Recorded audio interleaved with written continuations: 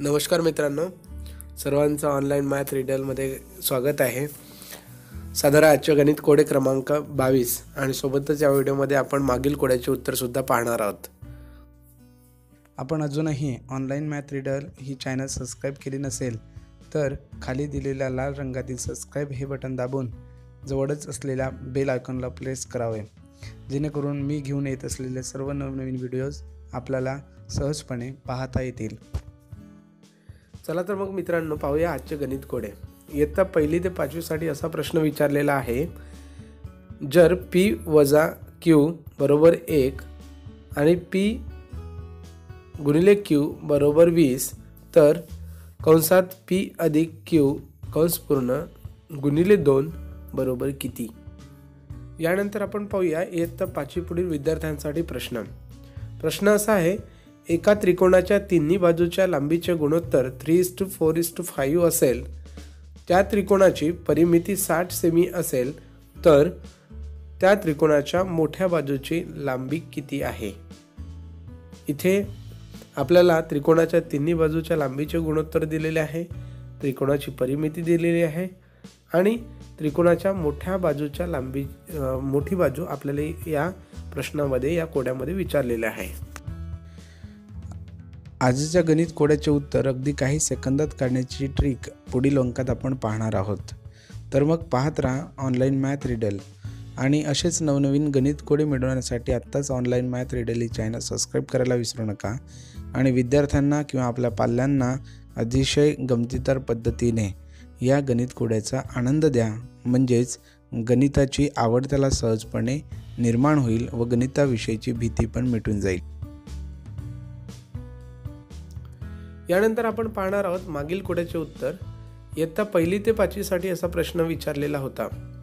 एका रांगेत रोहनचा डावीकडून तेवीसवा क्रमांक व उजवीकडून एकवीसवा क्रमांक आहे तर त्या रांगेत एकूण किती विद्यार्थी आहेत?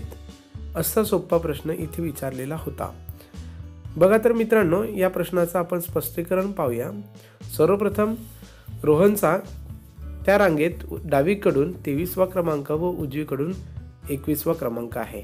म्हणजेच रोहन त्या रांगेमध्ये दोनदा मोजला गेलेला आहे डावीकडून आणि उजवीकडून.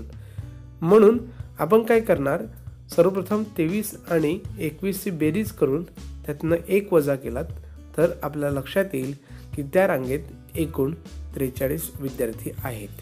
अशा पद्धतीने आपण या कोड्याचे उत्तर मिळवलेले आहे. यानंतर आपण पाहूयात इयत्ता पाचवी पुढील विद्यार्थ्यांसाठी विचारलेल्या प्रश्नाचे उत्तर. एका फळ विक्रेत्याने पाच रुपयाचे सहा केळी या दराने खरेदी करून तीन रुपयाचे चार केळी दराने विकले तर विक्रेत्याला किती टक्के लाभ झाला? हे कोडे मागच्या कोड्यामध्ये आपण जेव्हा विचारलं तेव्हा त्याचे पर्याय आपण दिलेले नव्हते. म्हणून आपल्यास उत्तर काढायला अडचणी पण त्या निर्माण झालेल्या असतील. बघा मित्रांनो फळ विक्रेता पाच रुपयाला सहा केळी खरेदी करतो. म्हणजे तो खरेदी करत असताना लक्षात येईल की एक डझन केळींची किंमत दहा रुपये होईल. कारण सहा केळींची किंमत पाच रुपये आहे तर एक डझन केळींची किंमत दहा रुपये. अशा पद्धतीने तो खरेदी करतो. आणि तीन रुपयाला चार केळी प्रमाणे तो विकतो. म्हणजेच जर आपण लक्षात घेतलं तर एक डझन केळीची किंमत विक्री किंमत नऊ रुपये होईल. म्हणजेच खरेदी किंमत एक डझन केळीची दहा रुपये आहे आणि एक डझन केळीची विक्री किंमत नऊ रुपये आहे. म्हणजे या व्यवहारात विक्रेत्याला दहा रुपयांमागे एक रुपया नुकसान होतं. म्हणजेच त्याला दहा टक्के या व्यवहारात तोटा झाला असं म्हणता येईल. पण आपल्याला जे पर्याय दिलेले आहेत त्या पर्यायांमध्ये किंवा प्रश्नामध्ये आपल्याला किती टक्के तोटा झाला असा प्रश्न विचारलेला नव्हता.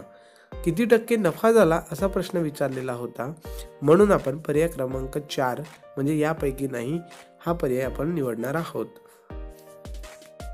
अशा प्रकारे दररोज गणित कोडे मिळवण्यासाठी ऑनलाईन मॅथ रिडल हे चॅनल सबस्क्राईब करा.